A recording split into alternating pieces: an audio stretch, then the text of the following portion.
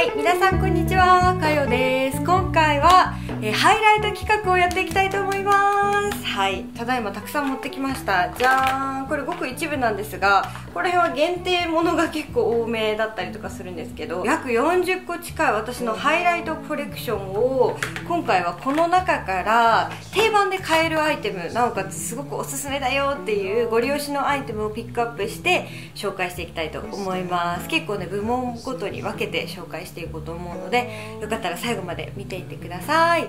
どうぞ。まず今日使ってるリップはこちら。結構気に入ってねしょっちゅう使ってるんですけどイージーリップスっていうところのティントリップ。こんな感じのムースっぽいティントでめっちゃお気に入りです。これはナンバー4番って書いてありますね。ちょっとブラウンみがかってる濃いめのレッドっていう感じで秋冬のメイクにぴったりのブラウン系のレッドです。はい、アイシャドウが今日2つ使って合わせてます。ナーズのユーフォリアユースパレットこれもねハイライトがすごいいっぱい入っていてお気に入りのパレットなんですけどここの、まあ、こういうマット系だったりとかピンク系とかをいくつか使ってグラデーション作ってでプラスアルファはこっちのね去年の終わり頃に発売していたミニパレットのこの限定のやつですね。ちょっとピンクっぽいローズっぽい色がいっぱい入った方を合わせてこれとこれで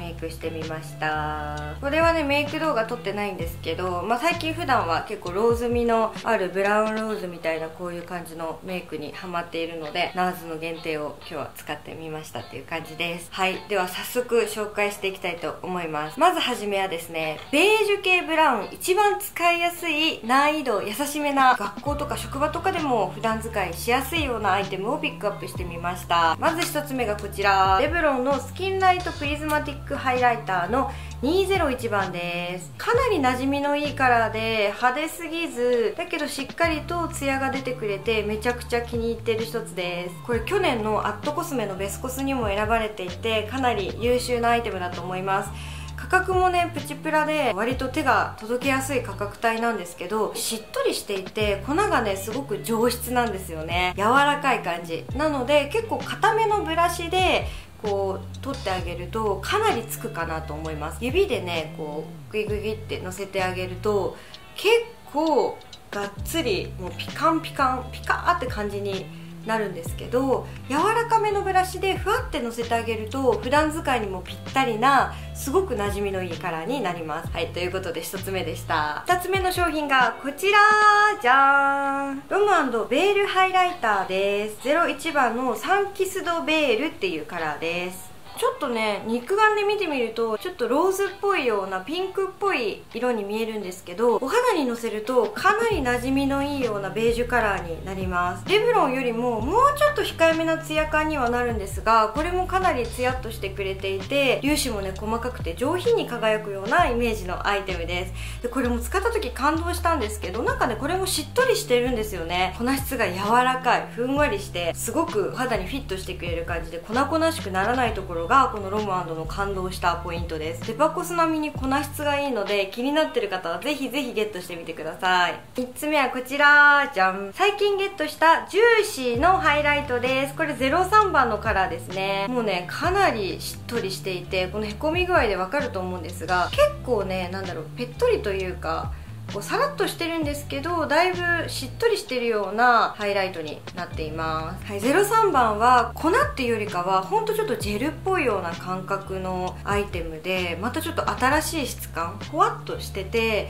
あのペタペタしてないのでマスク生活でも使いやすそうなハイライトになってるかなと思います。とにかくね馴染みがいいんですよこれも。どの方でも肌なじみいいんじゃないかなって思うようなカラーになっています。お肌にのせた時もかなりねたっぷりのっけると、まあ、しっかり発酵するんですけどさらっとのせると本当にね自然なツヤになるのでそのままのハイライトなんじゃないかみたいな。自分のマイハイライトなんじゃないかみたいな。それぐらいすごく馴染みのいいハイライト。なんて言ったらいいか分かんないけどマジで肌に溶け込むようなハイライトになってます。どちらかといえばレブロンの方が多少きらびやかに光るかなっていう感じです。色味とかなんだろう光り方とかは結構ね似てるんじゃないかなと思います。はいそして最後はこちら。じゃん。こちら限定パッケージになるんですがエクストラディメンションスキンフィニッシュのダブルグリームです。はい。ちょっとね竜の絵がもう消えかけてるんですがかなり気に入って使っております。これもねベージュ系のハイライトでかなり馴染みがいいんですけどちょっとこれは今まで紹介した中では明るめなカラーになってます。かなりこう華やかにしすぎることなく上品にお肌を自然に綺麗にちょっとだけワントーン明るくしてくれるような感じになるのですごく気に入っていて結構ねこれ普段使いに私よく使います。全部好きなんですけどやっぱり手に取りやすいのはこれこのマックのダブルグリームは安定してどのメイクにも使いやすい明るさで顔色がこう自然に明るくなる感じなのですごく使いやすいです。このジューシーとかね本当に馴染みが良くてお肌に溶け込むような自然なハイライトの仕上がりになるのであのギラギラしすぎることなく使えてめちゃくちゃいいと思います。ここのレブロンとジューシーは結構本当同じぐらいおすすめかな。ベスコスにジューシーもう入れちゃってもいいんじゃないかなっていうぐらい最近出会ってかなり気に入っているアイテムですね。はいということであの全顔に使えるような定番のおすすめできるアイテムを今回4つこんな感じでセレクトしてみました。かなりたくさんハイライト持ってるんですけど質感も含めてしっとりしていて馴染みが良くて粉々しくならないであのさらっとテクニックいらずで綺麗にハイライトが乗るのはこの4つかなと思います。共通していることはどれもある程度しっとりしていて本当にねこう乾燥肌さんがつけても大丈夫だろうなっていうぐらい粉質がね上質でツヤンってこう綺麗にね発光してくれるようなそんなアイテムになってます。次はですね最近私がハマってるピンク系の光り方。ちょっと発光がピンク寄りになるようなハイライトを紹介していきたいと思います。馴染みやすいのはこの2つかなというふうに思ったのでチョイスして持ってきました。これ最近ゲットしたんですけどこっちがエクストラディメンションスキンフィニッシュのショーゴールドっていうフェイスパウダー。でこっちがウェッテワイルドっていうところの、えー、何番だろうこれ。ちょっと書いておきますね。この2つがちょっとピンクっぽい発光する偏光パール気味なハイライトなんですけど馴染みがいいハイライトなのでなんかそこまでピンクのハイライトって挑戦してみたいけどちょっとよくわかんないなみたいな馴染むのかわからないなっていう方はここら辺がすごく使いやすくてなおかつあの光り方もすごく綺麗でいいんじゃないかなと思います。このエクストラディメンションスキンフィニッシュの方は最近ゲットしたんですけどベージュっぽいカラーのベースなんですけどキラッと発光するとピンクっぽい光り方をするようなハイライトになってます。めちゃくちゃ馴染みがいいカラーなのでおすすめです。はい。これもね粉々しくならないのとピンクのラメ自体がすごくね目に見えないぐらいの細かい粒子でピンク色をね発酵してくれているので全然こうラメ感がねギラギラしてなくて使いやすいです。でこういうハイライトは頬の辺りとかにのせてあげると今日もね使ってるんですけど自然に発光してくれてちょっと近くで見るとピンクっぽく発光してくれるのが分かるのですごく使いやすくておすすめです。もう1個のこのウェッテンワイルドの方はちょっとね気持ちピンクベースより？もうベース自体がちょっとピンクっぽい色にはなるんですけどこれも意外とね馴染みやすくて使いやすいです。はいこんな感じのカラーになっててこれもね値段がね結構プチプラなんですけどかなりしっとりしていて粉質が上質です。で結構ねがっつりのせると白いんですけどあのなじませてあげるとかなりすごく馴染みのいいカラーになります。こんな感じ。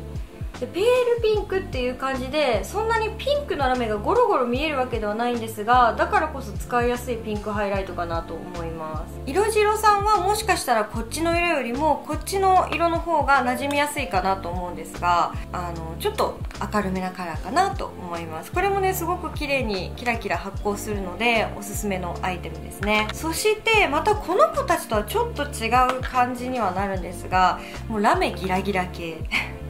もう大粒ピンク系もありましてこっちがアミューズの、えー、ハイライティングパウダー01番ですね。でこっちがジューシーの02番です。両方ともねかなりピンクラメがゴロゴロ入ってるような結構派手めなハイライトなので派手系なメイクが好きな方にはおすすめできるようなアイテムです。結構ベースのカラー両方違いますよね。肉眼で見てみると結構濃い色なのでどんな光り方するんだろうって感じに思うと思うんですけどお肌にのせるとそこまでめっちゃこんな感じのオレンジっぽい色っていうかこう変な色にはならない。濃い色にはそこまでならないんですがラメが結構大粒なので